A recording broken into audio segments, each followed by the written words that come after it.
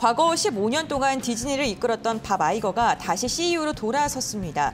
디즈니는 OTT 서비스 디즈니 플러스의 엄청난 적자로 인해서 실적이 곤두박질 쳤는데 밥 아이거가 자신이 1년 전에 후계자로 직접 뽑았던 밥 제이팩을 끌어내고 다시 2년 동안 디즈니를 이끌고 했, 이끌기로 했습니다.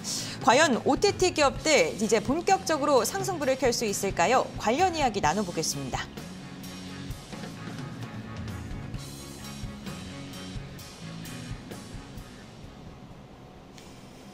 네, 밥, 아, 이거 컨텐츠의 진심이다라는 평가를 받는 CEO인데 다시금 돌아왔다라는 소식에 디즈니 이거 월가가 환호를 하면서 디즈니에 좀 수급이 몰렸던 양상이 펼쳐졌습니다. 이렇게 만약에 다시금 밥 아이거가 CEO로 돌아서게 된다면 사실 디즈니 플러스 시장에 좀 외면을 받지 않았습니까? 그렇죠. 네, OTT 판도가 좀 바뀔 수 있을까요? 가능성이 있죠. 그러니까 음. 그거를 주목을 해봐야 되는 거죠. 사실 뭐 디즈니 최근에 나왔던 이런 만화들 보시면 네. 예전보다 재미없어요. 감동도 좀 덜하고 동심이 좀 파괴된 거 아닙니까? 아 물론 그럴 수도 있어요. 네. 네, 제 동심이 파괴된 것도 있는데 네. 사실 이전만큼의 뭔가 이렇게 음. 임팩트 있는 작품들이 좀 잘 안 나오거든요. 뭐 그게 코로나라든지 뭐 여러 가지 음. 이슈가 있을 수 있겠지만 일단은 밥 아이거가 다시 돌아왔다라는 거는 저는 이제 그 사람이 돌아와서 OTT 경쟁은 더 심화가 될 것이다라는 부분이거든요. 오, 네. 왜냐하면 디즈니 쪽에서 고민을 하고 있었던 게 가입자 수는 많이 늘었어요. 네. 근데 수익이 안 나거든요. 그럼 수익성이 안 난다라는 건 수익화를 하기 위해서는 뭐 컨텐츠적인 경쟁력을 한다거나 아니면 넷플릭스처럼 뭐 중간 광고를 한다거나 네. 그런 이슈들이 발생을 할 수 있다라는 음. 거죠. 그러면 거기서 또 이제 이런 capa를 차지하기 위해서 시장의 네. MS를 차지하기 위해서 굉장히 노력을 할 것이고 그럼 그 안에서의 컨텐츠도 굉장히 좀 달라질 수가 있다라는 거죠. 그러면 거기에 뺏기지 않기 위해서 보다 더 재밌는 컨텐츠, 음. 보다 더 좋은 플랫폼 UI를 제공을 할 필요가 있다라는 거죠. 그렇게 됐을 때 이제 우리나라 기업들의 굉장히 좀 큰 수혜가 나타나지 않을까라는 네. 부분으로 좀 이제 음... 이 스토리를 좀 시작을 해볼까 하는데요. 네. 사실 오늘 오르고 있어요. 제가 네. 이슈 잡았을 때까지만 해도 시장에서 완전 외면을 당했는데 일단은 어, 좀 트리거가 된 거는 두 개입니다. 이번에 이제 넷플릭스 가입자 수 증가 그리고 이런 밥 아이거의 복귀 두 번째로는 이제 중국 쪽에서의 이런 OTT 개방 소식이 있었죠. 네.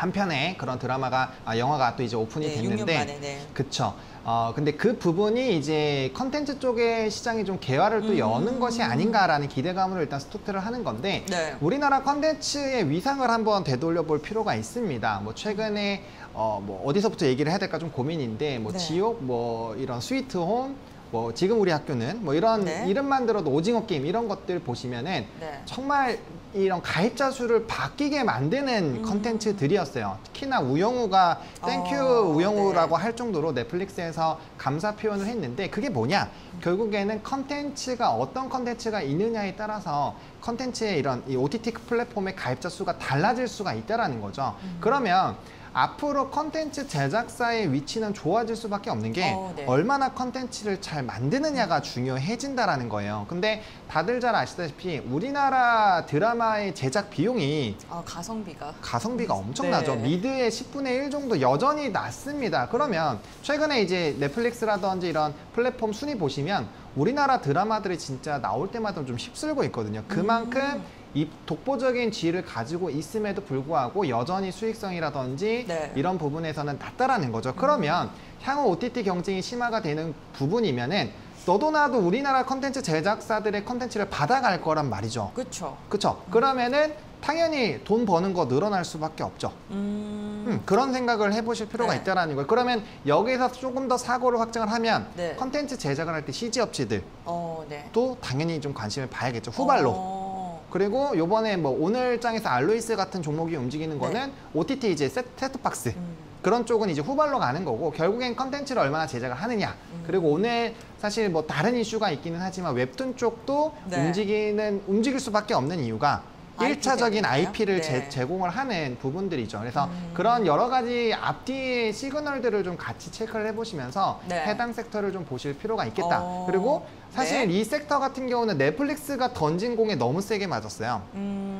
가입자 수가 줄어들 거라 그 우려감. 그쵸. 근데 네. 사실은 그 기간에 잘 살펴보시면 네. 넷플릭스만 줄었고요. 네. 나머지는 오히려 늘었고요. 음. 전체적으로 봤을 때는 오히려 가입자 수가 많이 늘었어요. 어, 네. 근데 넷플릭스가 가지고 있는 그 지위, 네. 전기차로 치면 테슬라가 가지고 있는 지위였죠.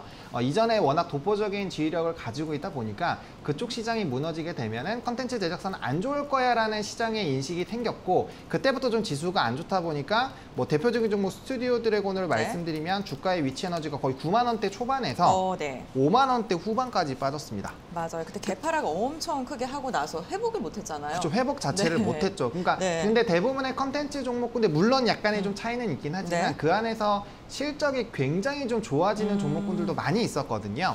근데 거기에 비해서는 사실 주가는 역행을 했다. 그러면 사실 이번에 이슈가 아니더라도 좀 네. 충분히 긍정적으로 어. 갈 확률은 네. 굉장히 좀 높다라고 보시면 좋을 것 같고요. 네. 또 최근에 또 흥행하는 드라마에 따라서 좀 움직임이 나오고 있는데 뭐 네. 대표적으로 재벌집 막내 아들 네. 어, 보셨어요? 레몬메인 네, 전 보고 있어요. 어, 네. 지금 1, 2, 3편 봤는데 사실 네. 편성도 좀 독특하다라는 거를 느끼실 겁니다. 네. 금토일로 나오는 경우가 좀 드물어요. 음. 그러니까 그만큼 편성에 좀 힘을 줬다라는 느낌이 있는 거고요. 네. 이 속도감이 있다 보니까 시청은 좀 이어서 될 확률이 굉장히 높습니다. 그래서 지금 3회마, 3회 만에 10%로 넘어갔기 때문에 뭐 이런 드라마의 흥행 하나하나가 사실 주가의 급등이 나올 것이고 그럴 때마다 이전에 또 좀 순환매 관점이 많이 돌았거든요. 그러다 보니까 뭐 거기에 따른 기대감들, 뭐 스튜디오 드래곤 같은 거 슈룹, 네. 슈룹은 보고 계신가요? 어, 아니요. 요즘 그, 재밌는 네. 거잘 안 보고 계시는군요. 어, 네. 그래서 어쨌든 그런 이제 드라마들 10%가 넘는 드라마들이 굉장히 음. 늘어나고 있다라는 거는 네. 그만큼 긍정적이고 뭐 넷플릭스 순위도 굉장히 좋아지고 있어서 뭐 음. 그런 전반적인 분위기가 굉장히 좀 좋다라고 어, 보시면 좋을 네. 것 같아요. 어쨌든 디즈니의 CEO가 복귀하는 거에 우리가 주목을 하는 건 파이프라인이 하나가 더 생겼다라고 보면 좋을 것 그쵸, 같고요. 네. 중국의 한한령 같은 경우에도 이제 중국 시장 OTT 기업으로 우리가 수출을 할 수 있는 기회가 더 생긴다라는 점에 좀 주목을 해볼 만한데 그런 콘텐츠 관련주도 있고요. 아까 말씀해 주셨던 것처럼 VFX 기업들도 있고요. 네. 어떤 기업들을 좀 최선호주로 보고 있고 좀 주목하고 계시는지요? 일단 저는 제작사를 당연히 단연 1등으로 네. 어, 꼽고 있습니다. 네. 그 중에서도 이제 저는 스튜디오 드래곤을 꼽고 있는데 되게 억울해요.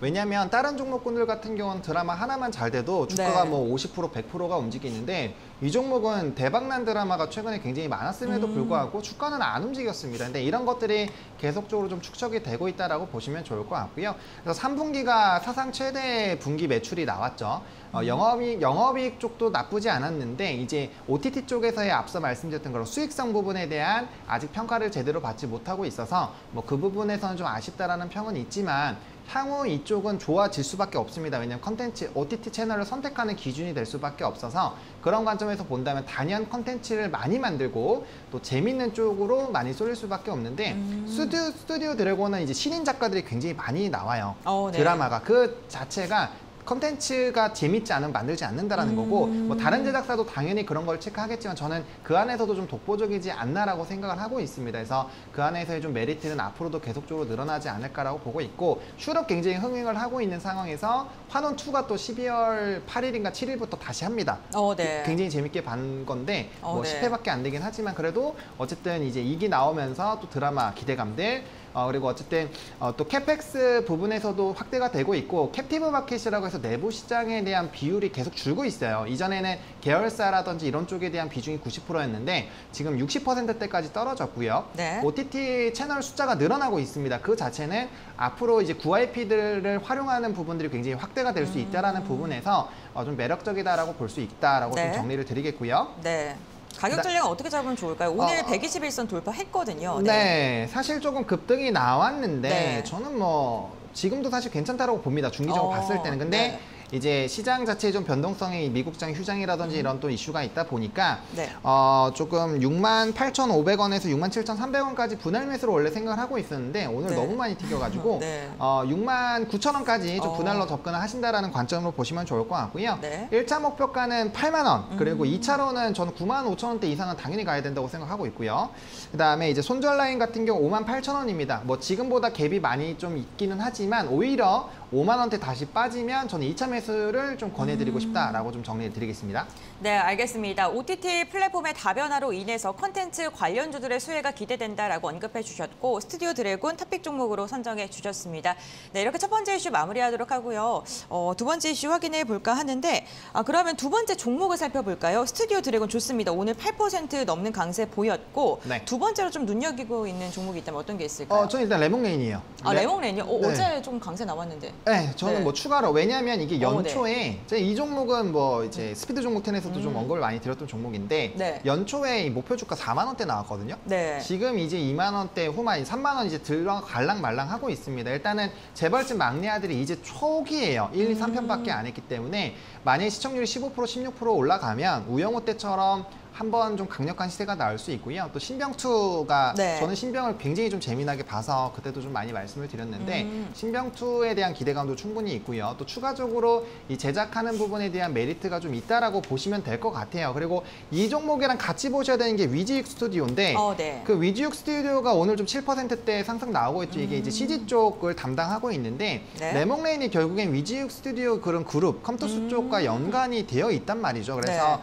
움직임이 나오게 된다면 같이 움직일 수 있다라는 부분에서도 앞서 오. 말씀드렸던 VFX랑도 좀 같이 네. 연관이 있다라고 보시면 좋을 것 같아요. 그래서 지금 단기적으로 좀 급등이 나왔고 오일선과의 조금 이격이 있다 보니까 단기 조정은 나올 수 있지만 네. 이 건강한 조정이 나온 이후에는 좀 추가적인 상승력은 충분히 좀 음. 기대를 해보셔도 어, 괜찮지 않을까라고 보고 있다라고 좀 정리를 드려보도록 하겠습니다.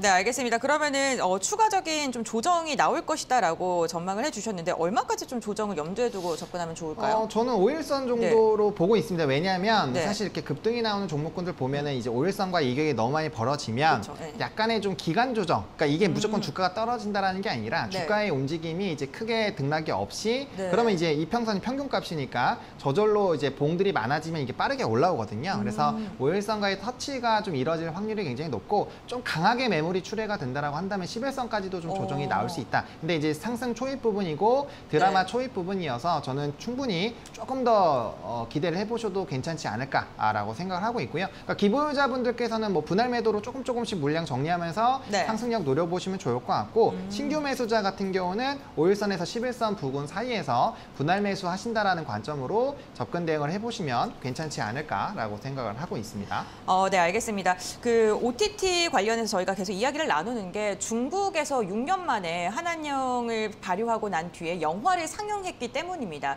어쨌든 중국에서 최근에 행보를 보게 된다면은 한한령을 좀 해제하지 않을까? 네, 그 기대감이 나올 수밖에 없는 상황인 것 같기도 한데, 음. 네, 그러면 컨텐츠주 저희가 주목해 보고요. 엔터주라던가 게임주도 최근에 주목받고 있잖아요. 어, 네. 사실 확장을 해야 됩니다. 어, 네, 어, 웬- 어디까지 확장하면 될까요? 어, 엔터랑 게임도 당연히 확장해야 되고요. 어, 네. 조금 더 욕심부려본 아, 화장품까지. 화장품이요? 네, 화장품까지. 네, 화장품 이라면 어떠한 종목 좀 보고 계세요? 뭐 이제 최근에 그래도 좀 수급적인 흐름이 좋았던 게 아모레 음. 어, 퍼시픽인데 퍼시픽, 네. 네, reopening 쪽에 대한 기대감이 많이 받았는데 지금 차익이 나오죠. 네. 왜냐면은 뭐 이제 제로 코로나 또 봉쇄에 음. 대한 얘기가 나오고 있다 보니까 네. 그러니까 화장품은 후순이에요. 후순이고요. 음, 네. 엔터랑 이제 게임 쪽 보셔야 아, 되는데 그렇죠, 네. 엔, 그 게임 같은 경우는 이전에 룽투코리아가 이번에 이제 상한가를 빠르게 맞아요. 직행을 했었던 이유가 판호에서 영향을 많이 받았었던 이 예전 음. 종목군들이 있습니다. 그러니까 예전에 게임주 판호들이 나올 때그 네. 주가에 들썩임이 있었던 그 테마가 있어요. 그 종목군들 위주로 일단 좀 편승을 해보실 필요는 있을 것 같고요. 음. 뭐 이제 뭐 열혈강호라든지 이제 기, 기타 뭐 미르라든지 이런 IP가 굉장히 오래되고 중국 쪽에서 흥행을 했었던 이런 쪽에 대한 관심도들은 계속적으로 가지실 필요가 있을 것 같고요. 뭐 엔터 같은 경우 사실 중국이 아니더라도 관심을 가져야 됩니다. 아, 네. 네, 실적이 너무 좋고요. 음. 그 다음에 연말 연초로 되면 될수록 사실 이런 엔터 섹터는 좋을 수밖에 없고 또 네. 특히나 뭐 이제 SM 같은 경우는 그런 이제 M&A 관련된 이슈까지 좀 음. 터졌다 보니까 네. 하이브를 제외한 대부분들은 좀 좋은 흐름이 나올 확률이 굉장히 좀 높아요. 어, 뭐 하이브도 같이 따라가긴 할 텐데 네. 방탄이라는 너무 큰 이슈가 있다 보니까 네. 조금은 어, 후순위로 밀릴 수 있고요. 네. 뭐 JYP 같은 경우는 실적에서 깡패. 그리고 어, YG가 좀 시장에서 네. 그 증권가의 분석이 좋진 않잖아요. 너무 블랙핑크 의존했다라는 이야기 나오는데 아, YG도 괜찮게 의존을? 해도 돼요. 의존을 해도 어, 되는데 네. 이제 그 리스크가 있는 거죠. 아, 네. 아무래도 대표의 이런 구속 이슈가 있다 보니까 뭐 거기에 따른 좀 부담감은 좀 있다라고 좀 정리드리겠습니다. 네, 알겠습니다. 네, 이렇게 오늘 OTT 플랫폼에 대한 이야기를 좀 집중적으로 다뤄봤고요. 중국의 한한령 해제에 대한 이야기까지 나눠봤던 것 같습니다. 오늘 도움 말씀 주신 헤르메스 스타 카창한 본부장관은 여기서 마무리하도록 하겠습니다. 네, 오늘 말씀 감사드립니다. 네, 고맙습니다.